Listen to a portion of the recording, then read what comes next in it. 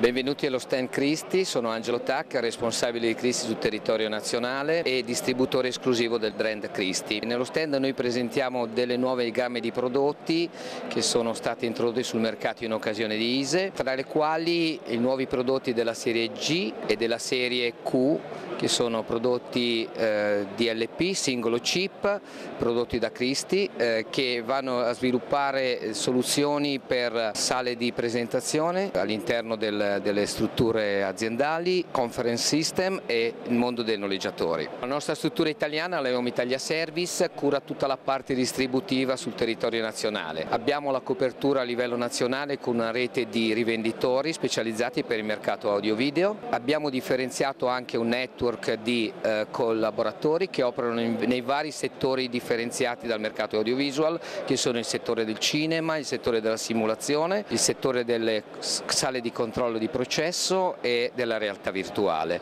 nonché il settore del renta staging che curiamo direttamente. Gli ultimi cinque anni ci hanno visti concentrati su quello che è il mercato eh, del cinema digitale, la conversione verso il mercato digitale e è una conversione che verrà finalizzata entro il termine di quest'anno, da questo punto di vista noi ci stiamo focalizzando sulle nuove opportunità che il mercato ci sta eh, generando, che sono quelle appunto del, di un evento che sarà importantissimo per il prossimo anno per l'Italia, che è l'Expo. Dopodiché stiamo ristrutturando tutta la nostra rete distributiva con nuove figure professionali che andranno a coprire le varie esigenze di mercato. Il nostro team si è ampliato in questi ultimi tempi, abbiamo preso quattro nuove persone che si andranno a occupare eh, nei vari segmenti di mercato. Il nostro fuoco quest'anno è in modo particolare quello di terminare la conversione delle sale cinematografiche verso il digitale e questo noi saremo focalizzati sino alla metà di questo anno.